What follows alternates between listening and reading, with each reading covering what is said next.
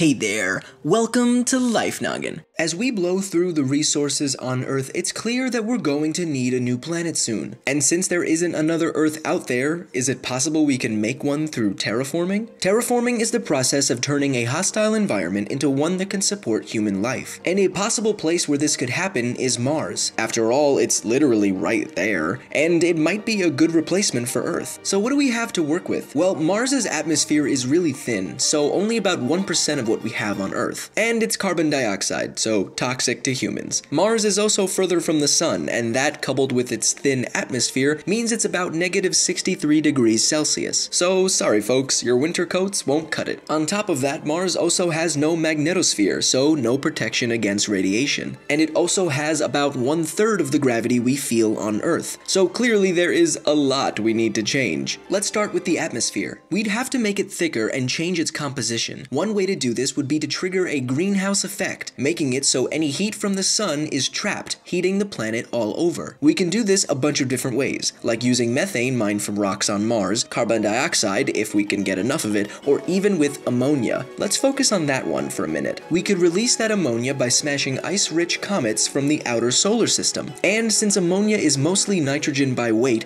once we add oxygen through plant life, we could have an atmosphere pretty similar to Earth's. And with that thicker atmosphere, the atmospheric pressure would be high enough for humans to possibly live. From here, the atmosphere will warm the planet and the rest of the terraforming job will be a relative cakewalk. We can melt Mars's polar ice caps and have water, and with that water we can have the environment for life, make some changes to the Martian soil, and set up shop on the formerly red planet. But wait, there is more. Remember the whole Mars has no magnetosphere thing? Turns out that's a big part of why Mars lost its atmosphere in the first place. Mars's global magnetic field shut down around 4.2 billion years ago, and from there the solar winds and powerful sun explosions stripped away most of the atmosphere, sending it off into space. And that's not good, since that means there isn't a trove of carbon dioxide in the Mars rocks to release in order to trigger a greenhouse effect. And also, any atmosphere we do add on Mars won't last. Eventually, it'll be stripped away by radiation and solar wind too. And whatever wasn't would be hard to hold onto with Mars's weaker gravity. So Mars isn't the best option.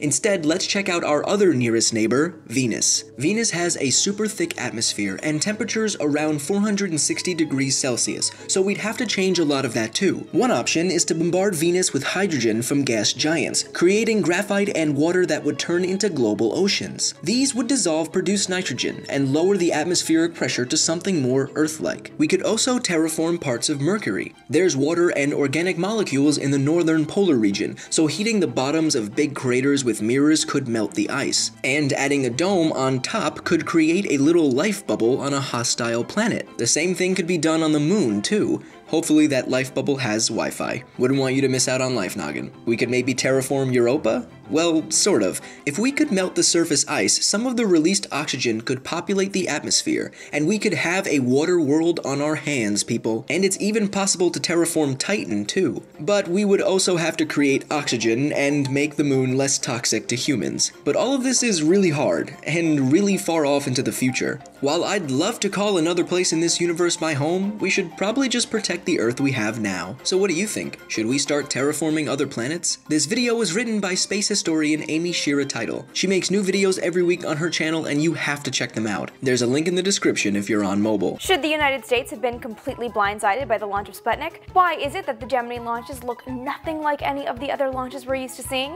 What changes did NASA make to avoid a repeat of Apollo 13's near-fatal disaster? How did these two spacecraft actually dock up to become this one spacecraft? How did NASA get pictures of Neil Armstrong walking down the lunar module's ladder if there was nobody already on the moon to operate the camera? There's a link in the description if you're on mobile. As always, I'm Blocko, this has been Life Noggin.